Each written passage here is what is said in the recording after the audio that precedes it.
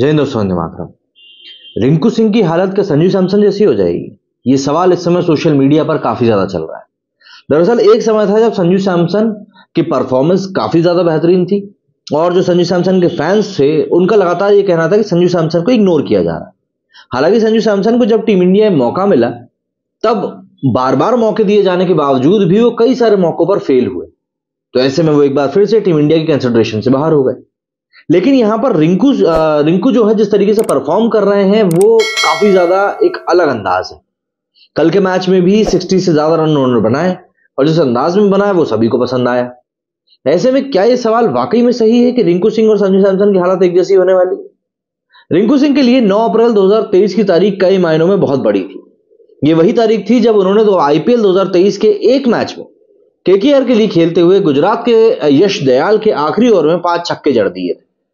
आखिरी ओवर में केकेआर को जीतने के लिए उनतीस रन चाहिए थे और रिंकू ने यह कर दिखाया। इस तारीख के बाद क्रिकेट दुनिया के तमाम विश्लेषक, क्रिकेट पंडित, फैंस मानने लगे कि भारतीय क्रिकेट को एक नया सितारा मिल गया है। उनके अंदर वो जज्बा भी दिखता है कि क्रीज पर तो है तो मैच को खत्म ही करके ले जाएँगे।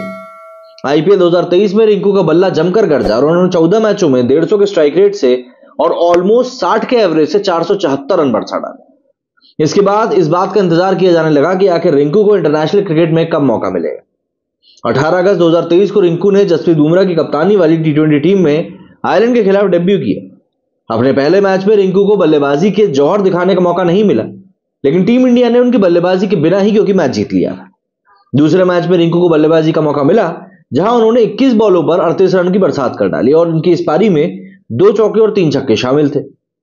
रिंकू सिंह को देखा जाए तो हाल फ़िलहाल के कई मैचेस में उन्होंने टीम इंडिया के लिए फिनिशर की नई एक परिभाषा रच दी है।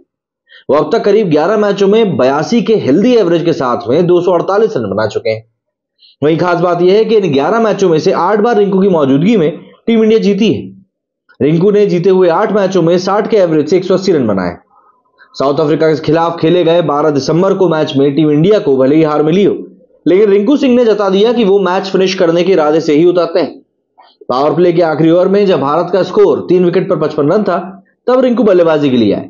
सूर्य कुमार के साथ मिलकर वो टीम इंडिया के स्कोर को 19 ओवर में सात विकेट पर 180 रन तक लेकर गए और उसके बाद में बारिश आ गई। रिंकू ने 12 तारीख को हुए मैच में शानदार और जानदार बल्लेबाजी करते हुए सिर्फ़ उनचालीस बॉलों में अड़सठ रनों की शानदार पारी खेली। ये रिंकू का टी ट्वेंटी नेशनल में पहला अर्धशतक था।